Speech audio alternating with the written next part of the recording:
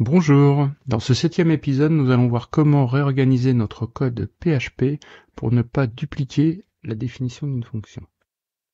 Actuellement notre site web est composé de trois scripts PHP notamment.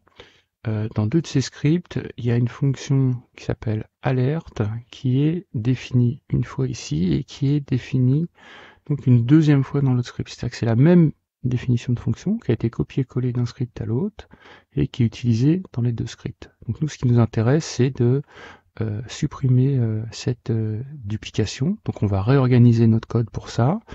Et à la fin de la réorganisation de ce code, notre site fonctionnera exactement de la même manière, mais avec une, une qualité de, de code supérieure. Alors, actuellement, donc, notre site se compose d'une page d'accueil, alors, lorsque euh, le site fonctionne euh, normalement, qu'il n'y a aucun souci, la fonction alerte n'est euh, pas utilisée dans index. Elle est utilisée que s'il y a une exception, un dysfonctionnement. Donc on va provoquer un dysfonctionnement pour avoir comment dire l'appel de cette fonction alerte. Hein. Comme ça après on va faire nos modifs. On va vérifier que ces modifs permettent aussi de continuer normalement. Et après, on va enchaîner. Alors, première chose qu'on va faire, donc là, je modifie la requête SQL pour euh, générer une erreur, j'actualise. Donc là, j'ai une erreur, donc on me dit qu'il y a un problème de syntaxe. Alors, ma fonction alerte, donc, est appelée euh, ici. Donc, sa définition, je vais la mettre euh, ailleurs, dans un autre script. Alors, on va organiser notre code comme ça. On va rajouter un nouveau un nouveau dossier, folder, on va l'appeler inc par exemple, hein, pour euh, include, parce que c'est des fichiers qu'on va, qu'on va inclure, et dans ce folder, on va créer un fichier qu'on va appeler par exemple outils.php. Donc, et dans cette, ce fichier outil.php, on va aller, donc, on prend la fonction, la définition de fonction, de index, je l'enlève et je la mets dans ce nouveau fichier, je sauvegarde. Alors ce fichier, donc ici maintenant si je fais une exécution, ça ne peut plus fonctionner puisque euh, la fonction alerte n'est plus euh, définie. Hein. Pour la forme, on peut faire un petit essai. Voilà, là on a euh, call de la fonction alerte, ça marche plus. Donc ici, il va falloir qu'on dise à index au script index.php où trouver la fonction alerte.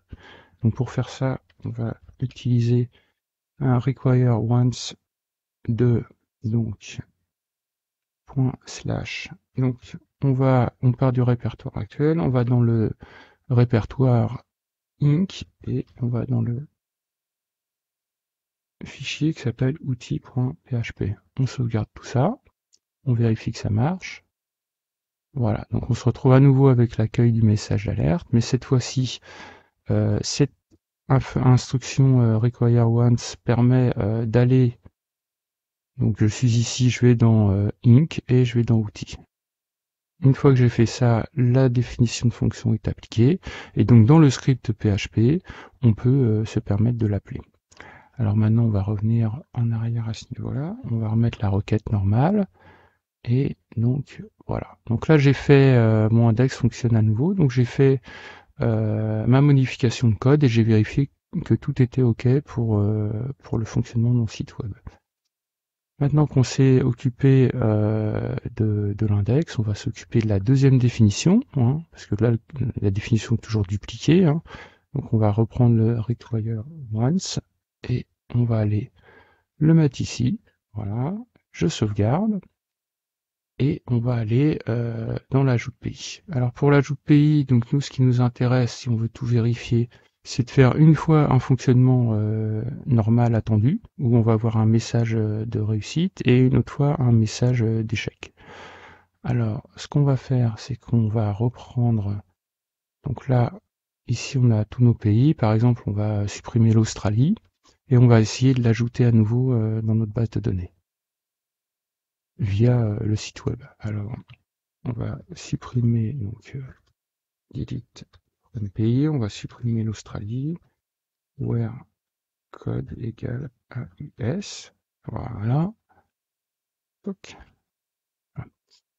Donc là, l'Australie n'est plus là. Et donc on va l'ajouter à nouveau. Et quand on va l'ajouter pour générer une erreur, on va par exemple prendre un code qui existe déjà. On va prendre par exemple le code de l'Argentine. On va mettre ARG. Après c'est Australia, Canberra. Australia, Canberra. Après il faut qu'on mette la population. Voilà. Je remets les bonnes données, hein, comme ça je vais conserver une base de données avec des informations cohérentes. Et là, si j'ajoute, je tombe sur euh, le problème donc euh, d'intégrité à cause de la clé ARG. Donc là, dans mon script ajout pays résultat, j'ai bien euh, donc utilisation de la fonction alerte qui a été définie dans outils. Normalement, je reviens en arrière et puis là, je vais mettre le bon code pour voir si on a bien le message attendu. Voilà, on a bien le message de réussite et on se retrouve bien avec tous nos pays euh, ajoutés. Alors, en résumé, donc avant euh, d'intervenir, on avait un site qui fonctionnait d'une certaine manière, avec la définition d'une fonction alerte dans un script et la même définition de la fonction alerte dans un autre script. Donc code dupliqué, correction de bug à faire, admettons, dans cette fonction ou évolution on est obligé de faire euh, la modification des deux côtés.